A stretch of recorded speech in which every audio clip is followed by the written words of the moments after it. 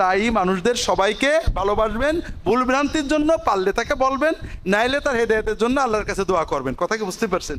এভাবে প্র্যাকটিস করলে হয়তোবা আমাদের অন্তরের এই বিদ্বেষগুলো যেতে পারে। সবচেয়ে বড় কঠিন কথা ভাইরা, আমি মনে করেন আমায় দাড়িটা রেখেছি সুন্নত সই হাদিস মতো। কনফার্ম আপনার দাড়িটা সই হাদিস মতো না। এটা আমি কনফার্ম কিন্তু আমার দাড়িটা আল্লাহ কবুল করেছে, নাকি এটা পেশাদার দাড়ি ইমামতের জন্য রাখছি, নাকি আল্লাহ কোনো কারণে আমার দাড়িটা কবুল করিনি, এটাকে আমি জানি।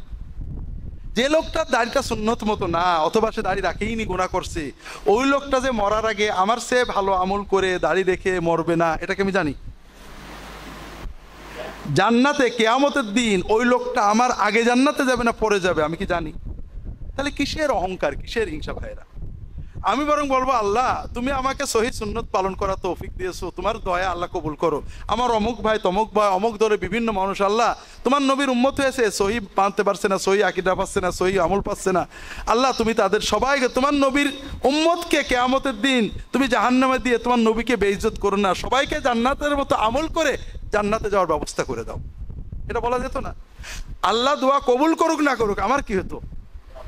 আমার লাভ হতো। আমি নবীর জন্য ভালোবাসছি, আমার অন্তরে প্রশস্ততা আসতো, নবীর মহব্বত অন্তরে আসতো, আমি সোয়াব পেতাম, আমার অন্তর থেকে বিদ্বেষ চলে যেত। বিদ্বেষ দুনিয়ার কারণেও আসে। একজন লোক আমার মামলা করেছে, জমি কেড়ে নিয়েছে, শত্রুতা করেছে, আমার নামে গিবোধ করেছে, আমি শুনেছি আমার ক্ষতি করার চেষ্টা করেছে। শত্রুতা আসে, দেখলে কষ্ট হয়, এটা হবে। এক্ষেত্রে বিদ্বেষ দূর করা খুবই দরকার। আল্লাহ আমাদের গোল আলু হতে রস মানে একেবারে ধরাসাপ হতে বলেননি। আপনার হক পাওয়ার জন্য আপনি সব করবেন। আপনার দোকানটা কেড়ে নিয়েছে, জমি দুহাত নিয়ে নিয়েছে, আপনি মামলা করতে আপনার বৈধতা আছে, মোকদ্দমা করবেন, সালিশ করবেন, তার কাজটা যে অন্যায়, সবার কাছে বলতে পারবেন, তার দলিল মিথ্যা বলতে পারবেন। কিন্তু আপনার হকের বাইরে তার বিরুদ্ধে গিবত করা, তার অমঙ্গল কামনা করা তার ক্ষতি কামনা করা, এগুলো সব হারাম। এগুলো করবেন না। এগুলো করলে বরং আল্লাহর পক্ষ থেকে সাহায্য তাইদ আপনার উপর থাকবে না। আমাদের হৃদয়টা কি হবে? আল্লাহ, তোমার বান্দা, তুমি ওর শত ভালো করো, আমার কোনো আফসোস নেই। আমার হকটা আমাকে দিতে হবে। কাজেই আপনি অকারণ বিদ্বেষ থেকে হৃদয়কে মুক্ত করবেন। মনে করেন, উদাহরণ। একটা প্যাকেটে চটের বস্তায় শুকনো কিছু গোবর বা গু, দু কেজি বা এক কেজি আপনি জমা করেছেন।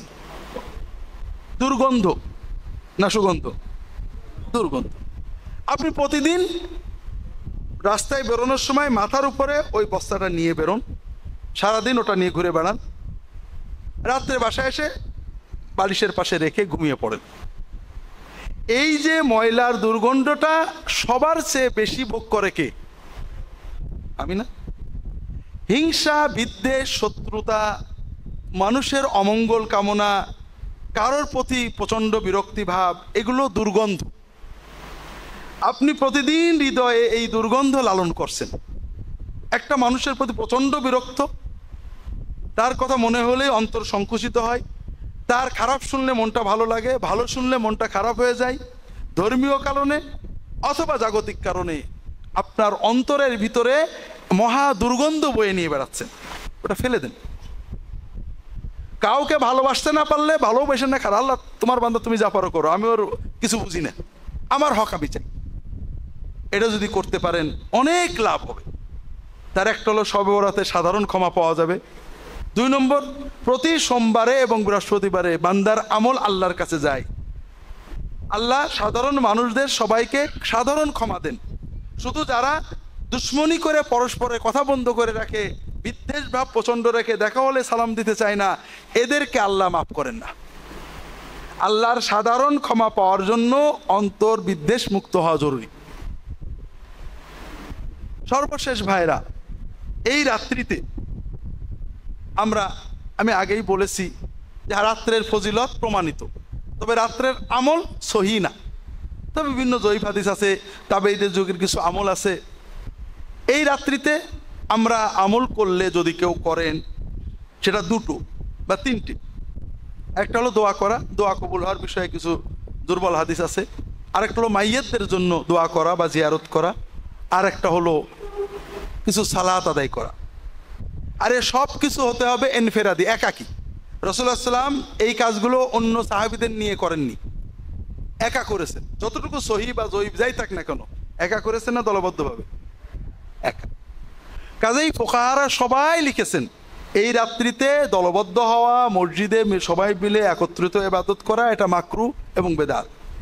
কেউ হারামও বলেছেন। কিন্তু মুশকিল হলো আমরা আগেই বলেছি, এই জন্য সুন্নতের কথা অনেক গেয়ে নিয়েছি আগে। রসুল্লাহ সাল্লাহ সাল্লামের পদ্ধতিটাকে অনেক সময় গ্রহণ করতে কষ্ট হয়। একা ঘরে বসে করব, আল্লাহ কি শুনব? অন্য মানুষ চল্লিশ জন মানুষের ভিতরে একজন তো আল্লাহর অলি থাকে, আমরা দোয়া করলে কবুল করি। না না, কথা বলে। আমরা আনুষ্ঠানিকতা সর্বোচ্চ হয়ে গেছি। মায়ের সাথে যখন কান্নাকাটা বলেন, মা, মাফ করে দাও, চোখের পানি আসে। লোকের সামনে থাকলে, অনেক লোকের সামনে আসে না একা হলে বেশি আসে। হ্যাঁ?